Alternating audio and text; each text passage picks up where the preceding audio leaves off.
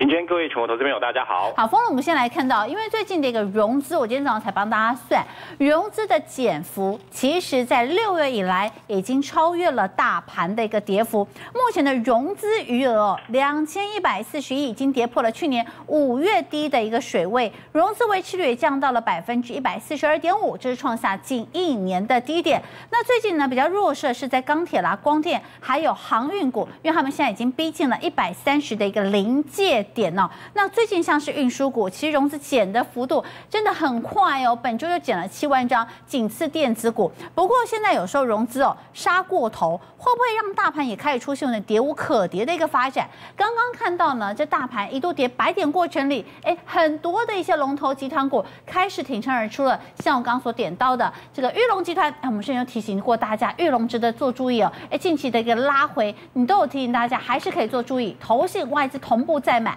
还有人讨论玉龙有没有可能会复制华兴哦？四月份的走势，你看故事有点像，包含了他们在冲刺电动车节能题材。外资投信开始出现了同买，而且买超加速的味道，有没有这样的一个机会？你怎么看？嗯，我想整个的一个玉龙在我们五月份跟大家报告，当时候刚刚爆量啊，突破季线之后，我们趁它拉回的时候，在五月十九号跟大家报告哦，当时候价格大概是十二元左右，我们一路跟大家坚持说，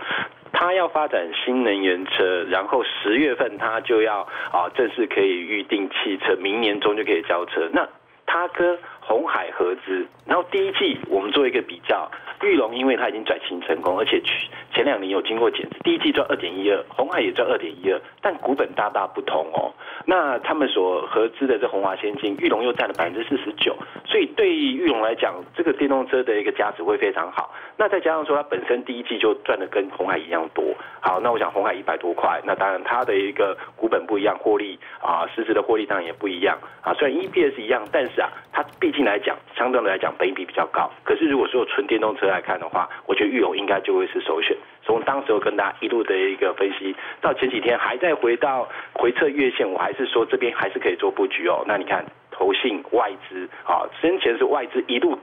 买进，然后接下来就是投信开始买进。现在的一个走势，我认为是非常有机会哦，跟四月份的华兴啊一样，题材很像。然后就像庭娟讲的哦，啊，又是要冲刺新能源车，又要冲刺啊这相关的一个储能相关的题材。那我想这边继续涨，我认为还是持续往上看高哦。哦，净值有五十六点一，提款投资有做一个操作参考。现在连净值都还没到，今年法人大家都估可以赚五块多。好，那我想这低档跟大家建议的个股这边持续看好。那当然车电它持续的带动相关的一个个股，今天其实不管是像一三一九的东阳，这还是强很强。对，也是同性持续在做一个买超，所以我会认为车电当然是一些的趋势方向。那在这里面的话，如果再说还有相对比较低的，我想这应该还是来自于相关的一个基础建设的部分。好，那包括说像我们之前跟大家讲的，哎，现在有拉回的三二零七的一个药盛，在这里面啊，又回到了一个啊这一波段回档的一个幅度将近十个 percent，其实来到这里啊，应该也还是一个机会。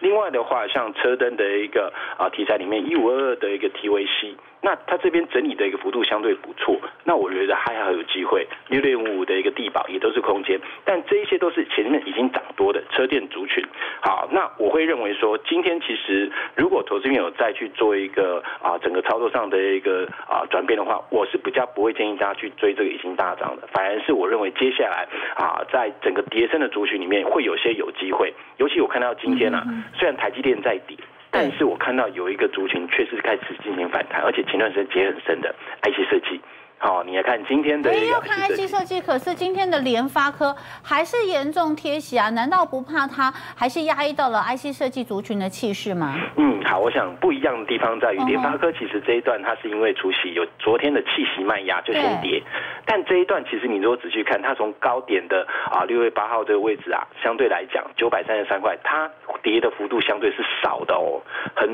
IC 设计股票这一波段一跌就是跌的大概三成到四成，它跌幅其实。将近只有十 percent 而已。那今天是因为除夕，再加上这一个啊市场上比较担忧这个外资持续卖超，所以它今天有点贴息的状态。那我去看到的话是，已经有人是跌了三成开始进行反弹的。比方说今天的一个啊整个的一个 I C 设计里面，前一段时间最强的。创意其实这一波段也跌到的季线附近。可是你有没有发现有一个很妙的地方？之前在涨是投信一路买，然后投信在高点就已经开始在做一个出脱，但是外资却是在高点才开始介入。我看了一下这段时间，几乎连续六天呐，创意从五百七十块钱一路跌到昨天呐四百七十块的过程里面，外资是连续性的买超，哇，而且买的幅度已经来到两千多张。那我认为啊，这边它应该是有一个跌升性反弹的机会，季线的趋势还是像还在这边是作为一个呃震荡的一个格局。我认为它来到这里是上一波的起涨点，我觉得这边反而是有机会。那再来就是我们看到像三六六一的一个四星 KY，这一波段从啊这个高点跌到反弹，六月一号反弹到季线之后一路的一个下跌。那你去看这一段时间谁在卖？都是投信在卖，那投信做账结束了嘛？提前做账，然后从六月八号这天一路的一个卖超，好，来到昨天已经卖了三千张，但是外资过去四天又开始在这边逢低承接，好，所以承接了四天之后，今天有机会，我认为它有机会啊，再去往所谓的一个五日线去做一个挑战。昨天是波段下跌的最大量，那我相信。昨天的大量区，只要高点一突破，这个反弹应该是来去挑战前方的月线。那再来就像六五三一的爱普，那这一波这一波段也是跌得非常快哦。好，那你看它的高点是出现在六月一号，当中可是从进场之后隔天爆量，六月二号爆量之后震荡整理完之后，在六月八号没办法再去创高之后，你有没有发现安逸设计的时间都在六月八号，然后开始进行回调。那你回调到这个位置的话，我认为啊，这边它基本上最近的融券减幅也非常大。那这有两个一个大量区哦，这个反弹其实它下跌过程其实量都没有非常大。昨天这个高点如果能够有效越过，那这一波应该反弹也要接近季线。我会认为说，其实很多个股。投资们在操作过程里面，还是先去找他现阶段资金比较有意愿去做操作的。而现阶段的的很多涨多的个股，我认为如果你低档有布局，就像玉龙，我觉得低档有布局，那当然你就持续持有，持续看好，因为啊整个波段应该还没有结束，净值还有五十六块。但是如果你现在去追，相对来讲。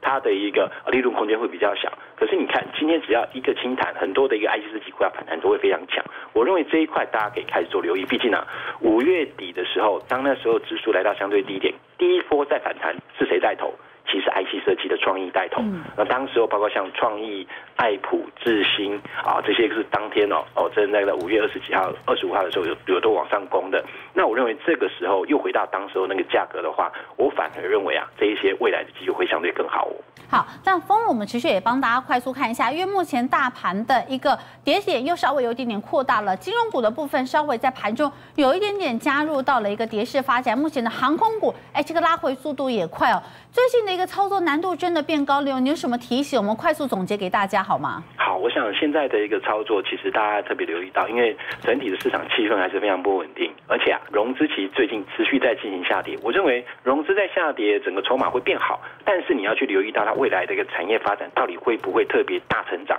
如果说有大成长，但股票也已经涨过一大段的，这个我觉得不会是首选。但如果有大成长，股票是有怎么样缓步往上垫高，那尽管短线上大家会发现很多当中可热冲的一个等走势完之后，股票会怎么样？会比较出现比较大的震荡。可是啊，如果以航空来看的话，长荣航跟华航应该是很早很早就开始起涨了嘛，对不对？是。好，那既然已经涨这么久了，我认为他们这边以区间操作为主。反正我在一直跟大家报告的相关的一个零组件供应链。汉翔、祝龙、成田、宝益，他们陆陆续续都有强势，但我认为适合投资朋友操作了，还是汉翔。我觉得投资朋友可以特别去留意到，它回撤到了这个半年线位置，那那整个季线趋势还是向上，嗯，整体的价格还相对便宜，以明年的一个 EPS 获利，可能可以调到二点八到三元。那现在的一个本益比相对来讲还是比较低哦，提供投资朋友作为操作上的参考。